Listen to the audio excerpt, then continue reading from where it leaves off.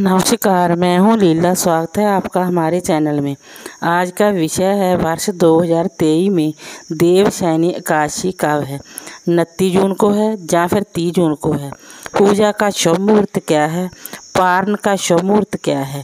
देव सैनी एकादशी के दिन भगवान विष्णु की विधिवत पूजा करने के साथ व्रत रखने से शुभ फलों की प्राप्ति होती है। हिंदू धर्म में हर एक काशी का विशेष महत्व है। हर साल चौबीस काशी पड़ती है, जिसमें से हर मास दो काशी पड़ती है। हिंदू पंचांग के अनुसार ज्येष्ठ मास के शुक्ल पक्ष को पड़ने वाली काशी को देवशैनी काशी कहा जाता है।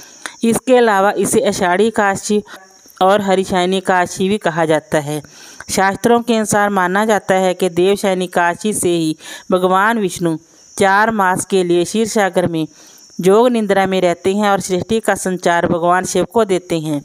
इसी के साथ सावन मास शुरू हो जाते हैं। इस जानिए देव शनि काशी की तिथि शिव मुहूर्त। भगवान विष्णु के जोग निंद्रा में जाने जाने वाले चार मास को चातुर्मास कहते हैं, लेकिन इस साल देख मास पड़ने के कारण चातुर्मास चार नहीं, बल्कि पाँच माह के पड़ रहे हैं। इस दौरान मांगलिक और शुभ कामों को करने की मनाही होती है। माह बाद देव उठनी काशी के दिन भगवान विष्णु जोग निद्रा से जाग जाएँगे और फिर सृष्टि का संचार करने लगेंगे।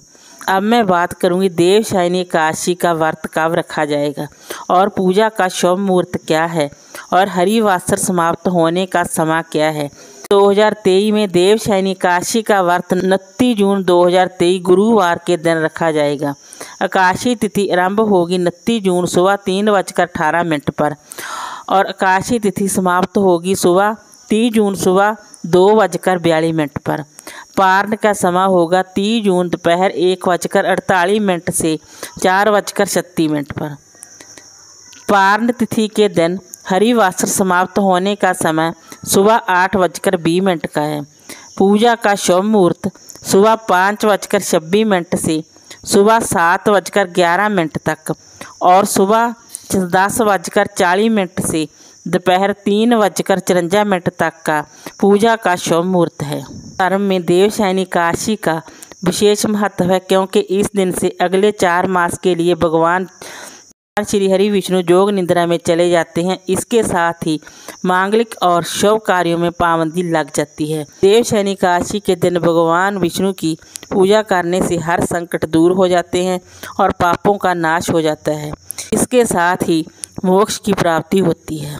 इस व्रत को करने से सभी मनोकामनाएँ पूर्ण होती हैं। देवशैनी काशी सबसे महत्वपूर्ण काशी है। व्रतों में से एक, जिसे पहली काशी के रूप में भी मनाया जाता है। इस काशी को पूरी श्रद्धा भाव से जो व्यक्ति रखता है तो उसे सुख, समृद्धि शांतिपूर्ण जीवन का आशीर्वाद मिलता है। संसार सुखों को भोगने के बाद वे अंत में मोक्ष को प्राप्त करता है। वीडियो अच्छी लगी हो तो लाइक कीजिए, शेयर कीजिए, सब्सक्राइब कीजिए। Thanks for watching this video